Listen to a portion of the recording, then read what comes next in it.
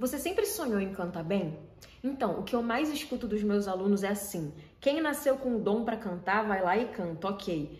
Eu nunca vou aprender porque eu não nasci com o dom para cantar. Não, gente, não é assim. Eu vim explicar para vocês o porquê. Eu sou a Daíra, tenho mais de 25 anos de experiência. Sim, gente, eu comecei a cantar bem pequena. Depois eu fui para a faculdade de música, me especializar em canto. Até que eu resolvi ser uma cantora solo, lançar vários discos. Vocês devem me conhecer cantando com Elba Ramalho, cantando com o Zé Cabaleiro. Recentemente lancei uma música com o Zé Cabaleiro, vocês escutaram? E esse curso, gente, eu tenho há quatro anos e ao longo desse tempo eu venho ajudando várias pessoas a encontrarem a sua voz, a sua potência vocal. É através da técnica vocal. Já ouviu falar disso? Então, são esses exercícios que vão desenvolver o seu corpo e, por consequência, a sua voz. Clica aqui e saiba mais que eu vou te explicar direitinho.